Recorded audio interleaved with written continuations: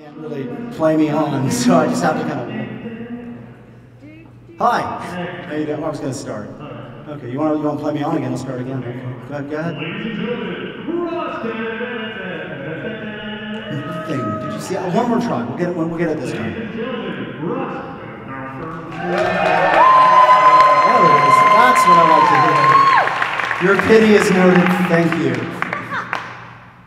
We're a Hang on to the side of the universe and just scream "we."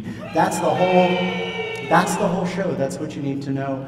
Um, I am sort of a little jet lagged, so you'll have to forgive me. Putting together the show is one thing, but also the schedule we've been keeping lately. The Circus Freaks have been working a lot, which is awesome. Um, I find that I'm not sleeping and I'm seeing sunrise a lot from the wrong side, which is hard because, you know, then I come here and do this. So if I get a little weird on you, just give me a little nudge off to the side or pour coffee in me, and it'll be fine, okay? Thank you. Um, I have noticed something that happens when you live this kind of performer life. Who out here is a performer? Let me hear a cheer. There's a fair number, a fair number of you guys. Yeah, but this whole table is like full of performers and they didn't say a word. It's very, very awkward. Do you want to? Do you mind just shine an awkward light upon them? There's an awkward light. it was a little late. Why I was awkward. All right, just then. All right, thank you. Back up here. So, you guys probably, the guys who screamed, you guys know this. When, when your bedtime isn't as important as your call time, reality slowly skews. Uh, eventually, things like when is lunchtime becomes a metaphysical sort of question. It's not, this is not good, this is just a fact. Um, I've gotten to that point now where I love my life. This is none of this is a complaint. My life is amazing, but sometimes I realize I'm really disconnected from what everybody seems to call reality.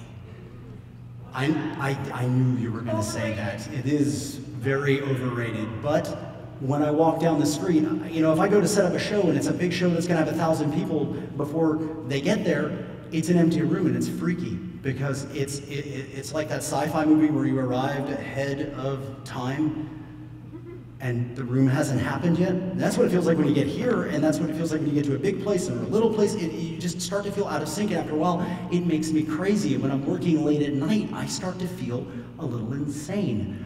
And I take a break before I get to the stabby special place, and I get online on the internet, and I notice that there are a lot of you up burning the midnight oil on your own endeavors because I see you uh, not so much clicking favorite and like on things as, as being out there and saying, yeah, I'm up too.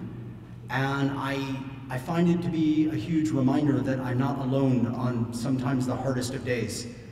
I know recently I had a friend of mine, he had a birthday, and it was on a day where it was publicly known that I would be unavailable for it at all.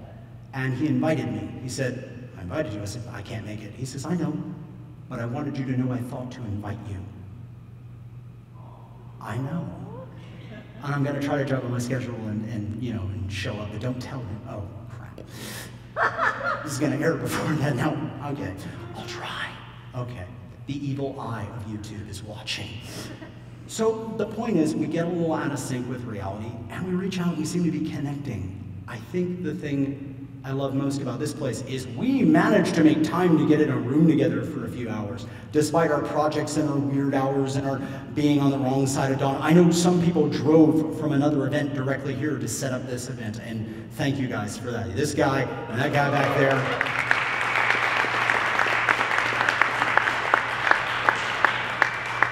If we didn't have that, we would be we would be in so much trouble if we didn't have this place to get back on the same page.